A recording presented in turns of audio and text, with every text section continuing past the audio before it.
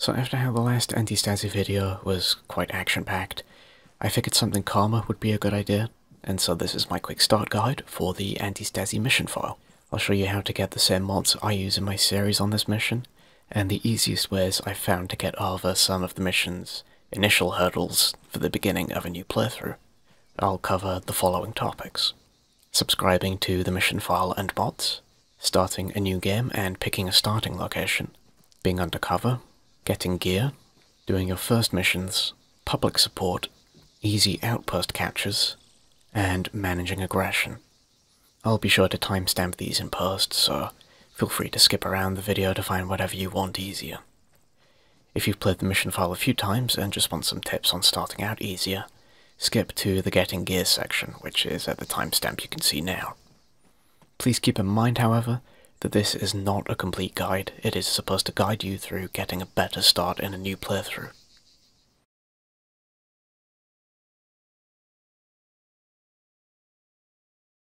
So thanks to the Steam Workshop, subscribing to Mission Files and Mods is very easy to do. To find the version of Antistasi I play, which is 1.3.5, follow the link to the Steam community page I put in the description of all my Antistasi videos, and in the pinned comment on this one. Log into Steam and simply click subscribe. Follow the link I've left in the pinned comment also to the RHS mods collection, and subscribe to the AFRF, GREF, and USAF mods. Keep in mind that these are large packs and will take a while to download, depending on your connection. Last on the list, and this one is optional, is Advanced Movement. This allows you to do a lot of the climbing that you'll see me doing in my Antistasi series, and once you start using Advanced Movement, you'll find it hard to go back to vanilla movement, so don't worry about this mod if you're not too picky on that kind of thing. Again, link in the pinned comment, but to get this working, you have to bind it to a custom control. I'll cover that in a second. To get the mods loaded into the game, launch Arma 3 to bring up the launcher, and click on Mods. Find the mods you just subscribed to in this list and tick the boxes to tell the game to load them up when it launches. The mission file won't appear here. That doesn't mean you did anything wrong. Mission files aren't mods, so this is normal. If you have other mods, make sure they're compatible with Antistasi before you start. As a general guide, anything which affects the AI or the medical system will not be compatible. Now, to get advanced movement working, load into the game and go into your key bindings. Bind one of the custom actions to a key or combination of keys, and then in the mod options, set advanced movement to use the custom action number you just bound to your keys. To start up Antistasi, go into the main menu of Arma and hover over single player, then go to scenarios. Antistasi will be in this list under the Altis map. Alternately, if you're playing multiplayer, Join the server through the multiplayer browser as you would any other server.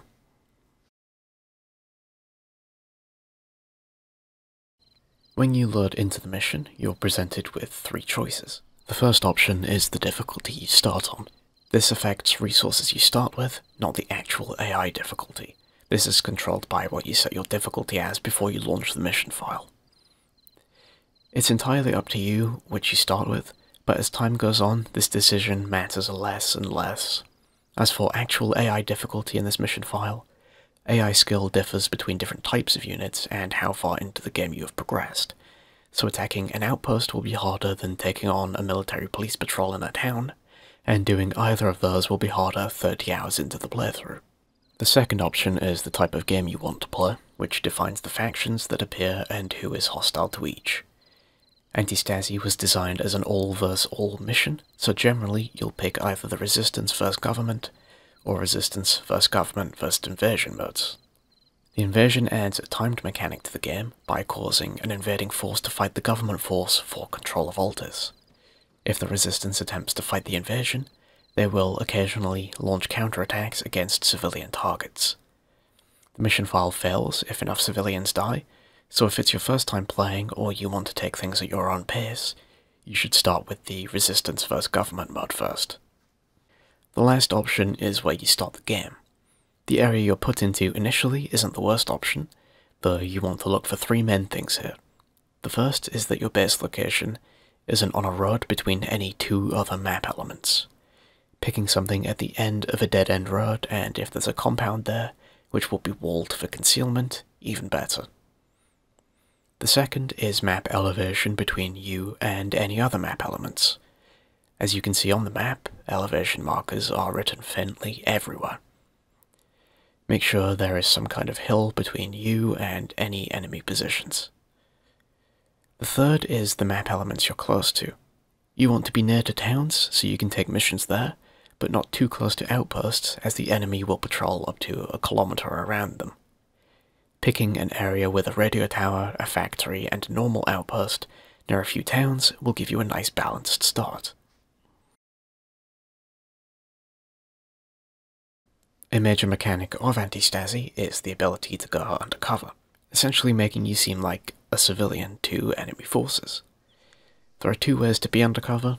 On foot, you can unequip any kind of military gear other than bags, meaning you need to be in civilian clothing with no vest, helmet, weapons, or NVGs. You can still keep military gear concealed in your bag, meaning you can carry armor and weapons with you. Once you meet the conditions to go undercover on foot, press Y to open the menu and click Undercover On. This only works if there are no enemies nearby. The other way to be undercover is to be in a civilian vehicle. Basically, any vehicle you see civilians driving is okay, and if you use your flag to buy a vehicle, you can select civilian vehicles, and all of these will work for this too. The off-road from this menu is a great choice, as not only does it have a cargo bay, but it has six seats. You will automatically go undercover if you aren't already when getting in a civilian vehicle, assuming that there are no enemies nearby. Civilian vehicles can keep you undercover even if you're wearing military gear, but only as long as you're inside. There are several ways to lose your undercover status which can lock you out of being undercover potentially. Any method which involves you voluntarily getting out of the undercover state, such as equipping a weapon or getting into a military vehicle, will not lock you out of the undercover mode. If you're detected by a sniffer dog, or perform a suspicious action like placing explosives while on foot, you will lose your undercover state for 30 minutes or until you next die. If you drive too far from a road, run a soldier over, or attempt to drive past a checkpoint or into an outpost, and fail a roll to check to see if you're still able to be undercover, the vehicle you're in will be reported and you cannot use it to go undercover. You'll need to get a new one, or put that one in your garage at base using the Y menu, and then retrieve it through the flagpole in the base management menu. The roll I mentioned with being undercover in military areas depends on your war level and aggression. The higher these numbers are, the lower your chance of being able to basically walk into an active military base.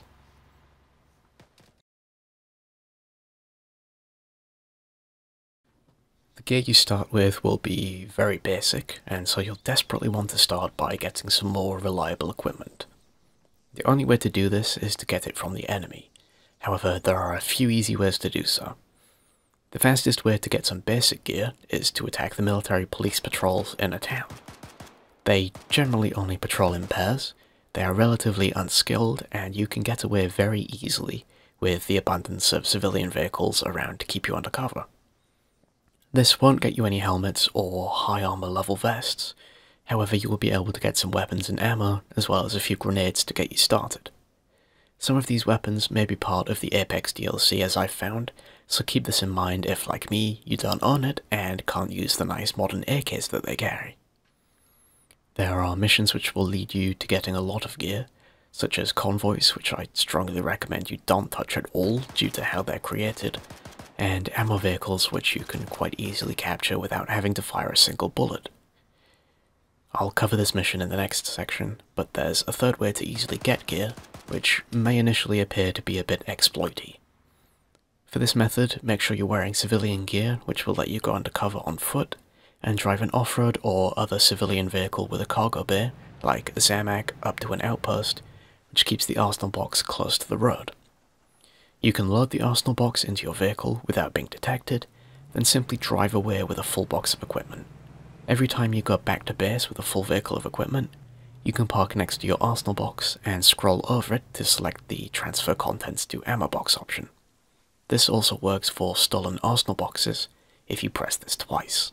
Once you have enough of a certain item, and this number changes per item, you will gain an unlimited supply of it. This is one of the main reasons you want to do missions for several hours before trying to capture enemy outposts. If you go to Petros in your base, you are able to request different types of missions which you can undertake. Keep in mind that if you request a type of mission, you'll be unable to request that same mission type for some time after you complete or fail the assigned mission. Missions are something you will want to do a lot at the start of the game, however only a few of them will help you this early on. In fact, some of the others could hurt your playthrough, depending on if you fail them or just die trying to complete them. For example, convoy missions may seem like an easy way to get some vehicles and equipment early on, with how enemy AI will be weaker, but in the current version of the mission file, they seem to depart from their destination immediately, and when they arrive, the enemy will either gain aggression against you, will gain public support of a town, or will gain local access to armored vehicles. None of these are desirable, and when the convoy can often arrive before you have time to reach it, it's best to only do the convoy missions which naturally spawn instead of requesting them. The two categories of missions you will want to do are logistics and assassination. Logistics missions come in a few types, one of which will only spawn if your base is close to either Kavala or Pyrgos.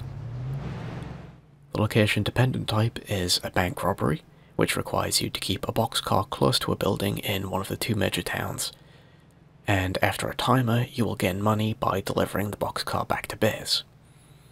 I would recommend not doing this one to start with, as you will have to fight your way out of a major town. Both of these have several outposts in the surrounding area, and it will drastically reduce your standing with the public in that area. I'll cover more on public support in the next section. Another type of logistics mission is the complete opposite of the bank mission. You need to take a supply box into a town using a vehicle with a cargo bay like an off-road or Zamak, and defend it till the timer runs out. This will give the supplies to the locals and will increase your support in that town drastically. If you've done other missions in the area, this will usually convert that town to your side on the next time resources take over.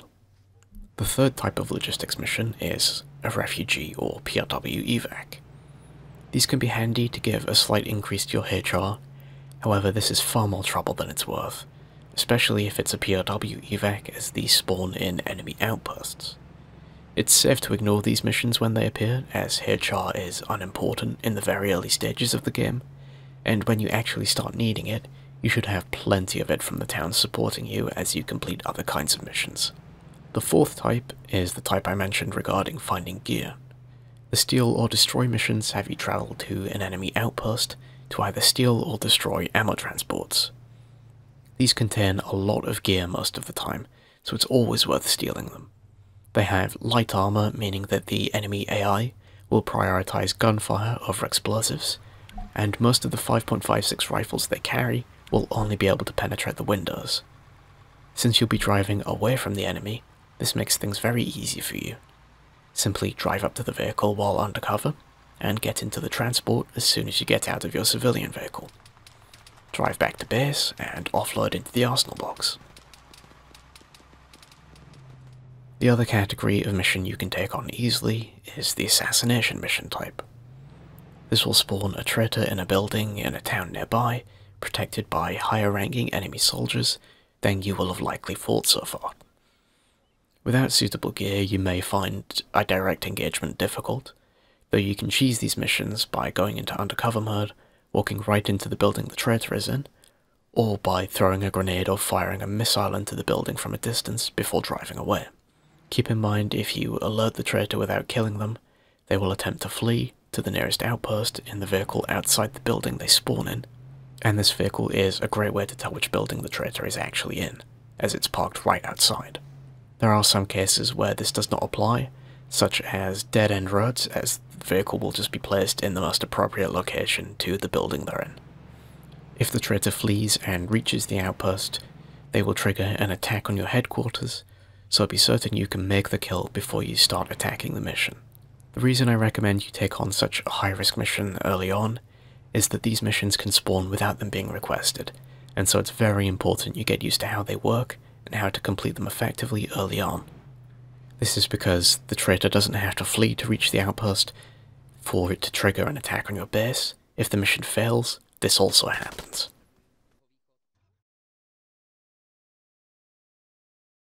Public support is the whole reason you will want to do missions for maybe the first 20 or so hours of your playthrough.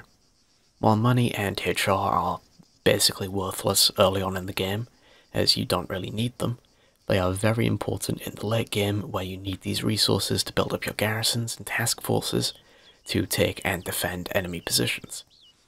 There are two main ways to gain public support in towns. The first is completing missions in and around towns. Any missions other than those which harm the public, such as bank robberies, will increase your support. The second is by killing enemy soldiers in and around the town. You gain a small amount of support for each kill, and you may find that in extended engagements you gain support of one or more towns before you even capture the outpost you're attacking. Keep in mind though, you can also lose public support through missions like the bank robbery, but also through harming civilians. Everyone you kill will lower your support in and around that town.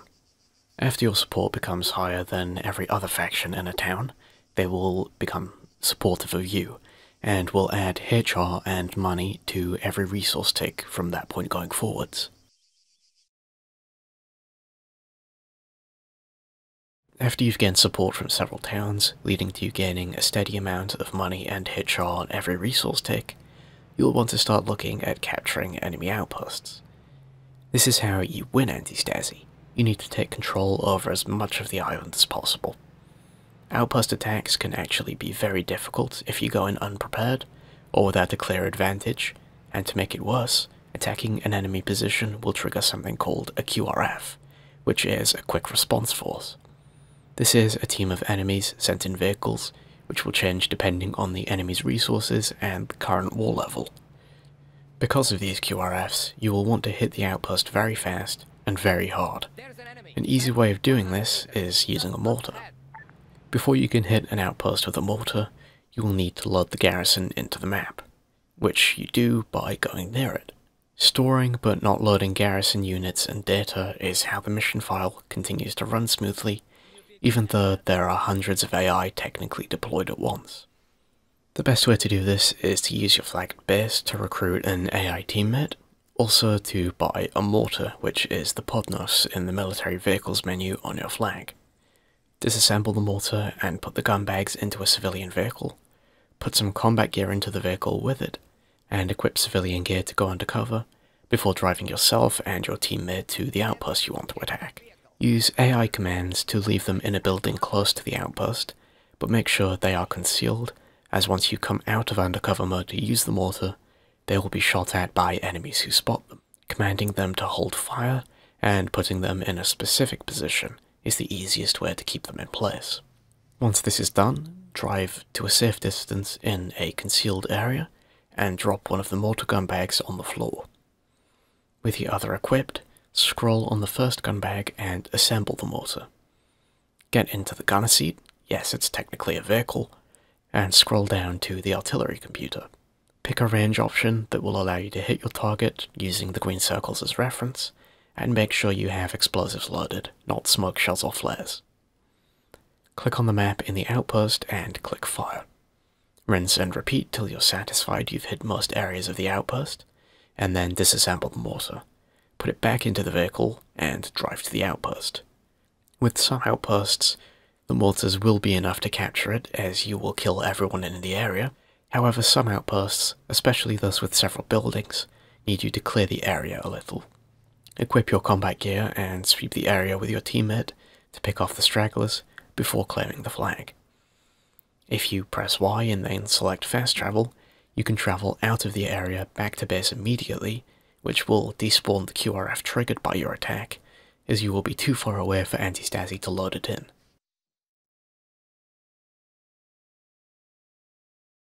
As you progress through the mission, you will notice that you accumulate an aggression value for each faction.